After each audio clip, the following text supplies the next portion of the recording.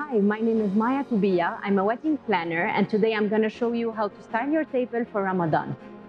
I usually get inspired from different places or different elements, and this time I got inspired by this uh, the pattern of this uh, candle holder uh, with black and rose gold color. We used some of them as vases, some others as candle holders. To add a Ramadan touch, I have added these beautiful rose gold lanterns, very modern, and that goes with the other elements of the table. And adding these candles to create uh, various uh, levels to the table.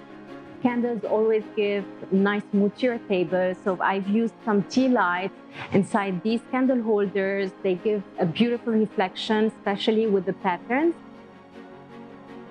After choosing the big elements, I added these small vases to fill the table and make it look cooler. And uh, I've chosen these uh, shiny uh, finished rose gold because it will give a nice contrast with the darker material on the table. To complement this centerpiece, I've chosen rose gold for our placemats, cutlery, and napkin ring.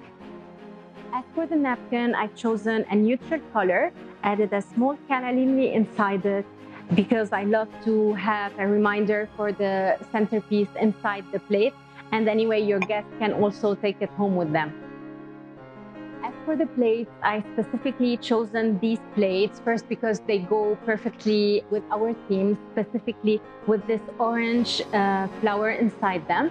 And second, uh, because they have a beautiful story as they were inspired by the Sheikh Zayed Mosque in Abu Dhabi.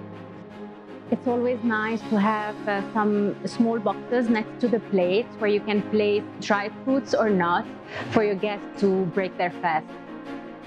You can always use your simple glassware, but I've chosen these glasses with Arabic calligraphy to give a touch of Ramadan to the table.